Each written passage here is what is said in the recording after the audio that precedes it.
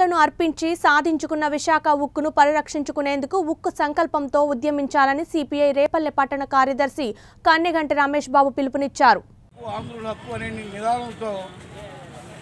ఆంధ్ర రాష్ట్రంలో పంతొమ్మిది వందల అరవై ఆరు సంవత్సరం నుండి ప్రారంభమైనటువంటి విశాఖ ఉద్యమం దాదాపు ఒక ఎనిమిది సంవత్సరాల కాలంలో దాదాపు ముప్పై మూడు మంది ప్రాణత్యాగాలు చేసి సాధించుకున్నటువంటి విశాఖ ముక్కు ఈనాడు కేంద్రంలో ఉన్నటువంటి నరేంద్ర మోడీ గారి ప్రభుత్వం వాళ్ళ విశాఖ ఉక్కుని ప్రైవేటు పరవ చేయడానికి నిర్లక్ష్యంగా పార్లమెంట్ సాక్షిగా ఈ ప్రభుత్వ రంగ సంస్థలకి మేము అమ్ముతామని చెప్పి తెగే చెప్తున్నటువంటి నరేంద్ర మోడీ ప్రభుత్వం వ్యతిరేకంగా వాళ్ళ ఢిల్లీ నగరంలో రేపు కూడా పెద్ద ఎత్తున ఆందోళన కార్యక్రమం చేపడుతున్నటువంటి నేపథ్యంలో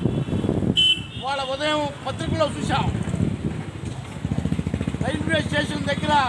దిగినటువంటి ఆందోళనకారుల్ని అరెస్టులు చేయటం అదేవిధంగా హోటల్ గదిలో ఉన్నటువంటి వారిని అందరూ కూడా బయటికి పంపించి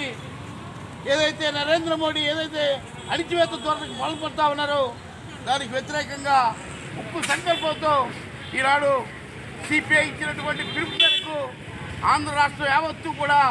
వాళ్ళ విశాఖ ఉక్కుని పరిరక్షించుకున్నానే నా- అనే నినాదంతో వాళ్ళ ఈరోజు రేపు నిరసన దీక్షలు జరుగుతున్నటువంటి రేపటి నేపథ్యంలో వాళ్ళు అదేవిధంగా రేపల్లో కూడా ఈ కార్యక్రమం చేపడతా ఉన్నాం. అదేవిధంగా వాళ్ళ నరేంద్ర మోడీ కానీ ఈ రాష్ట్ర ముఖ్యమంత్రి జగన్మోహన్ రెడ్డి గారు కానీ ప్రైవేటు జపం చేసి మొత్తం పరిశ్రమలందరినీ కూడా ప్రభుత్వ రంగ సంస్థల్ని కూడా ధ్వంసం చేయడానికి అమ్ముకునేదానికి వాళ్ళ నిర్లక్ష్యంగా ప్రయత్నం చేస్తున్నటువంటి నేపథ్యంలో ఉక్కు సంకల్పంతో వాళ్ళ సిపిఐ ఇచ్చినటువంటి పిలుపు మేరకు ఈ నిరసన కార్యక్రమంలో భాగస్వాములైనటువంటి పార్టీ కార్యకర్తలకి ఏఐటీసీ కార్యకర్తలకి కూడా భారత కమ్యూనిస్ట్ పార్టీ తరఫున మీ అందరికీ అభినందనలు చేసి తెలియజేసుకుంటూ వాళ్ళు అదేవిధంగా నరేంద్ర మోడీ గారు వాళ్ళ విశాఖ ముఖ్యే కాదు బిఎస్ఎన్ఎల్ని కూడా ప్రైవేటు పరం చేశారు. అదేవిధంగా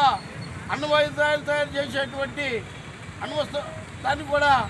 ప్రైవేటు పరం చేయటం వాళ్ళ హెచ్సిఎల్ ఫ్యాక్టరీలు కూడా ప్రైవేట్ పని చేయటం మొత్తం దగ్గరమ్మటానికి వాళ్ళ నరేంద్ర మోడీ ప్రభుత్వం ప్రయత్నాలు చేస్తూ ఉన్నాయి. దానికి వ్యతిరేకంగా మనంతా కూడా ఆందోళనలో సందర్భంగా తెలియజేసుకుంటూ